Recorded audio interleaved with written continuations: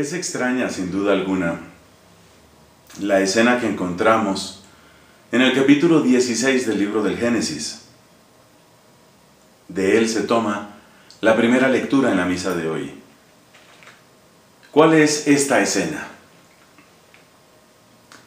Abraham tiene su esposa, Sara, que en este momento se llama Sarai, luego vendrá el cambio de nombre. Abraham y Sarai son estériles. Y Abraham tiene como esta especie de obsesión de una descendencia. Y Dios le ha prometido, de hecho, que va a tener una descendencia. Pero Sarai, por supuesto, es de muy avanzada edad y parece imposible. Y ella, de hecho, pues no queda embarazada. Y entonces se le ocurre una idea a Sarai. Una idea extrañísima, sobre todo para nuestro tiempo. Sarai decide que una esclava llamada Agar sirva como de representante suya, de modo que Abraham tenga relación con Agar y entonces el hijo que nazca ahí será como un hijo de Sarai, como una especie de adoptado y como un modo, se ve que están tratando de buscar un modo de cumplir con ese anhelo tan esperado de un hijo, pero por otra parte se ve que, que no terminan de acertar. En efecto, cuando Agar se sabe embarazada, empieza a despreciar a Sarai, hay conflicto entre estas dos mujeres y finalmente, fastidiada por ese mismo conflicto y por las humillaciones que recibe, pero también ella ataca, entonces Agar sale de casa.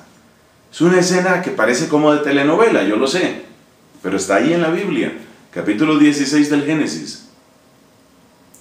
En su desesperación, esta mujer realmente no tiene a dónde ir. Un ángel del cielo le habla y le dice, vas a dar a luz a un hijo, pero tienes que irte a someter a tu señora, a Sarai. Y efectivamente, después de un tiempo nace un hijo que se llamará Ismael. Toda la escena es bastante confusa, en especial porque uno no termina de entender cómo es que Sarai primero está de acuerdo, pero luego no está de acuerdo. Probablemente ella se imaginaba que Agar iba a ser como un vientre de arriendo, como lo que hay hoy. Fíjate que esta historia se sitúa en el siglo XIX antes de Cristo y estamos ya en el siglo XXI después de Cristo. Es decir, estamos a 40 siglos de distancia, pero sigue habiendo situaciones y problemas éticos que nos hacen pensar. En realidad lo que Sarai estaba esperando era que Agar fuera como un vientre sustituto, que ella quedara embarazada y entonces sirviera únicamente en la función biológica, en la función fisiológica, y luego ese niño pasara a ser el niño que cría Sarai, el niño que queda para Sarai. Pero eso no funciona.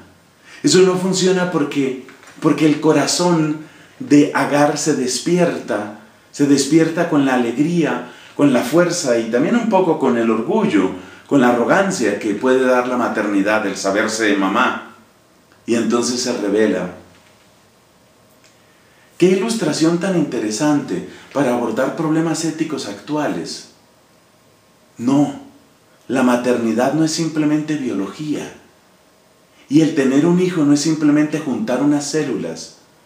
No es la astucia nuestra, no es el poder tecnológico nuestro lo que garantiza la felicidad humana, ni mucho menos lo que garantiza el plan de Dios.